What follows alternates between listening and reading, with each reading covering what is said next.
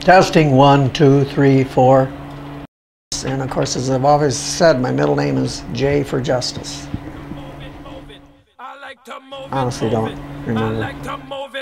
I, I think we better scratch that question.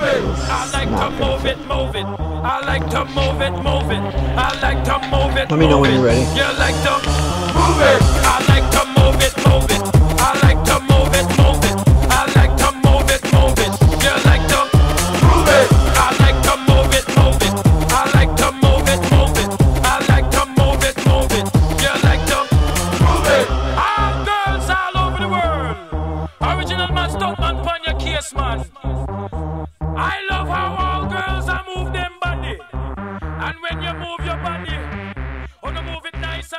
and sexy.